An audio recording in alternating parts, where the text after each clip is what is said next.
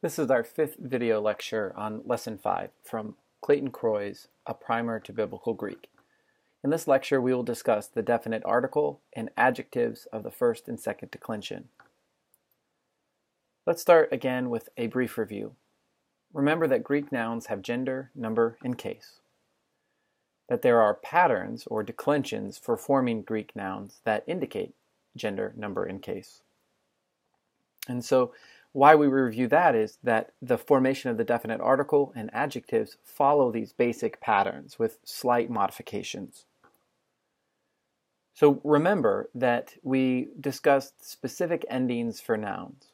So for singular, we talked about um, the, the masculine, feminine, and neuter nouns. Remember that masculine and neuter were second declension nouns and feminine were uh, first declension nouns. And so here is a chart providing the basic endings to all three forms of those nouns. So we could read it across, starting with the nominative, os, a, on, u, ace, u, o, a, o, on, ain, on, e, a, and on. You should see that these are the basic endings of the, of the nouns that we've already discussed in previous lectures. And so we can do the same thing then with plural nouns. Again, we have the five cases and uh, in the in the rows, and then the three different genders for those three different types of nouns in the columns. And again, it's oi, I, a, on, on, on, ois, ice, ois, us, as, a, oi, I, a. For most forms, the definite article is simply going to be the addition of the letter tau to those endings. So let's see what that means. Again, let's start with forms of the singular definite article. Here, the exceptions to that general rule of adding a tau to the endings of nouns uh, reflect the exceptions. And so you'll see that uh, for the singular, the nominative singulars are all slightly different than what we would expect and then the neuter accusative is also different. But other than that, those endings from the nouns are perfectly matched up, uh, just joined to the tau.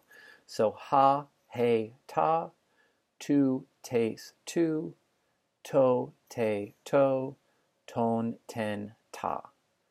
And then again, let's look at the plural. Once again, the green are the exceptions to the general rule. Here there are only two, and that's the masculine nominative and the feminine nom- nominative. Other than that, the endings look exactly like they did with the endings of nouns. So hoi, hi, ta, ton, ton, ton, tois, tais, tois, tus, tas, ta. All right, now that we have the form of the definite article in mind, let's discuss more about the function of the definite article. So just to review again, remind, remember that a definite article is just the, let, the word the in English. The definite article identifies, limits, or defines.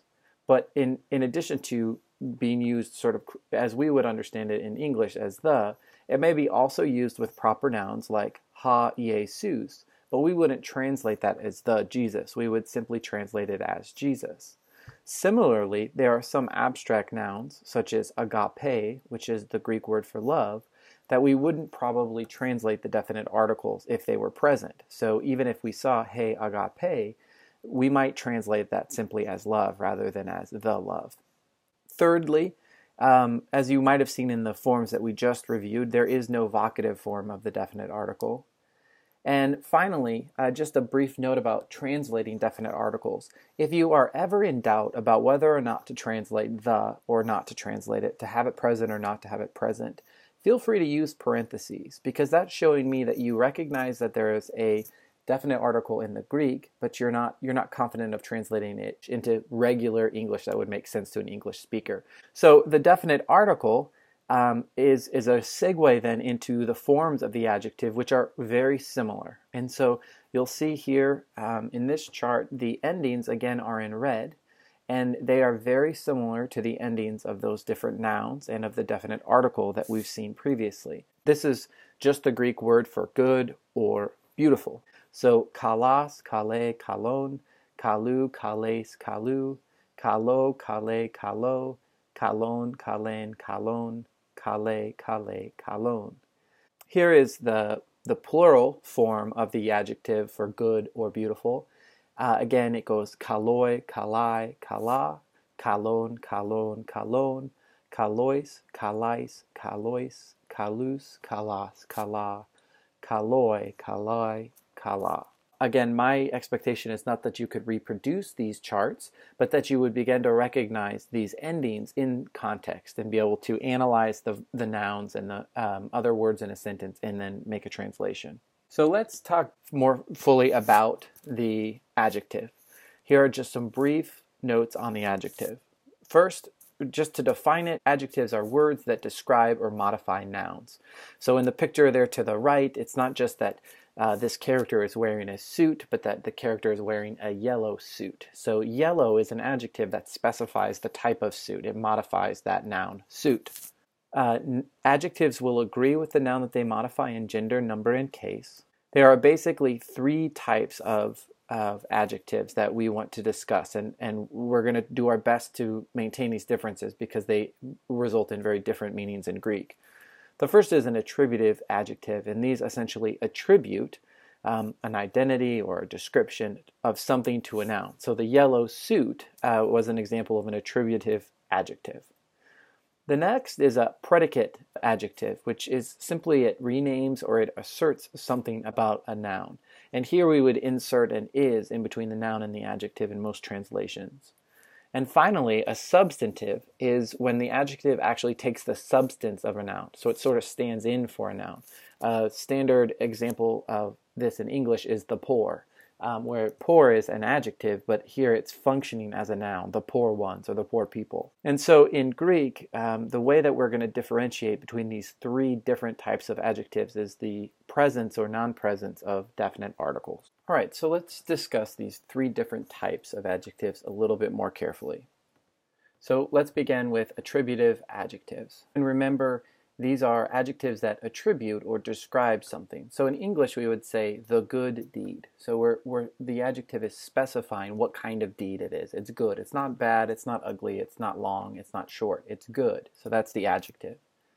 So in Greek, we would, we would, we would see this in two ways we might see the adjective kalon there between a noun and its article. So ta kalon ergan. So we see that uh, the ergon is in the um, nominative case. We know that by the definite article ta. Um, and then uh, kalon agrees with it in uh, number, gender, and case. So um, we see that sort of agreement. Or uh, the adjective good could follow the noun and then have an article of its own. So ta ergon, ta kalon. So again, let me emphasize the importance of the article. All right, so then let's talk about predicate adjectives. Remember, these are these are adjectives that sort of rename the noun. And so in English, this would be the example would be the deed is good. It's not just specifying uh, which deed or what kind of deed. It's sort of renaming the deed. The deed is good, and we see that with the translation is. So in Greek, we would see this in one of two ways. We, we might see it before or after the noun and its article. And so, um, whether or not it occurs before or after, it does not have its own article. So, kalon ta ergon would be good is the deed, um, or the good, the deed is good would be a fine translation, or ta ergon kalon. Again, the the deed is good, and we see that kalon in neither case has its own article, um, and it either precedes that phrase, the article, and its noun, or follows that phrase. It's important to be paying attention to the location of the adjective and how that adjective relates to the noun and its definite article. All right, finally, substantive articles. These are, again, articles that take the substance of a noun. They sort of stand in for the noun. So in English, we would say the faithful. Faithful is an adjective that could be modifying something, but here it's simply standing in for a noun. And so in Greek, the way that we would see this is an adjective and an article without a noun. So both number and gender of adjectives are important um, in terms of how we translate. And so an example of that is hoi pistoi um, is masculine plural, right? And we would translate that as either the faithful ones or the faithful men. Uh, Greek is a little tricky in that masculine plural can include um, genders that are not masculine, so it might be men and women. But when we see something like hi pistai, um, this is only the faithful women. The feminine plural tells us that we're talking about women. All right, so a brief notes about some additional verbs or some nuances of verbs that you need to know about. First, uh, you need to know that verbs may take a case other than the accusative case to complete the meaning. Remember, we said that often the accusative case indicated the direct object. There are some that take a different case. So, for example, the, the verb akuo, which means I hear, it takes either the genitive or the accusative. And so, um, a sentence like akuo tes phones means I hear the voice. The voice is here the object of my hearing um, but it's not in the accusative case, maybe as we would expect, it's in the genitive case. And then another example would be pisteuo, which takes the dative case for its for its object. And so uh, pisteuo means I trust or believe. And so if you saw the sentence pisteuo to theo, um, it would be something like I trust God. Let's uh, do one of the first exercises in the practice and review section from Croy. Dikaios kai hagias, ha kurias, to uranu. So, uh, as we've done with our previous exercises, the first thing we want to do is find the main verb. And here we encounter our first problem. There is nothing in this sentence that has an ending like any of the noun or any of the verbs that we've learned in the past. And so we need to conclude that there isn't a main verb. And so um, it, the next thing that we would look for is the nominative. And here we are clued off by that definite article before kurias. So ha kurias, these are both in the nominative case, and this signals to us this is the noun. This is the nominative um, or the subject of the sentence. And now we're going to look for some adjectives, and we see that we have a number of adjectives. We have two, dikaias and hagias. And incidentally, both of these are also in the masculine nominative singular. And so they agree in number gender, and case with the nominative hakurias. So somehow these adjectives are related to the noun. And so um, we see that, that hagias is in front of hakurias. So is dikaias. They're both in front of that phrase, hakurias. And so this tells us that uh, we are in the predicate position. Remember that um, that that the predicate adjective always either the adjective either follows the phrase or it precedes it, and in this case, those two adjectives are preceding that phrase hakurias. And so once we've sort of identified those adjectives and thought about their function, um, then we would determine the function of other words. And so the other words that we're looking at are to uranu, and we see the endings u um, on both endings, indicating that we are in we have a masculine singular genitive noun. In this case, um, we're we're going to be translating it sort of as a limiting, um, as we've seen in previous exercises, uh, telling us which Lord. Well, it's the Lord of heaven. Um, so we would translate it of heaven there. So a full translation then um, would be, "The Lord of heaven is righteous and holy." All right, so that's the end of this lesson on lesson five. Um, on the definite article and adjectives. Now, I, I do encourage you to um, go back to the part of the lecture where we discuss the three different functions of the adjectives. Typically, this is a place where students get held up.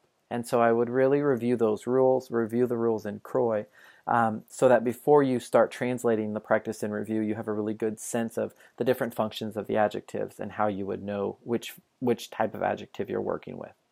Thank you for your attention.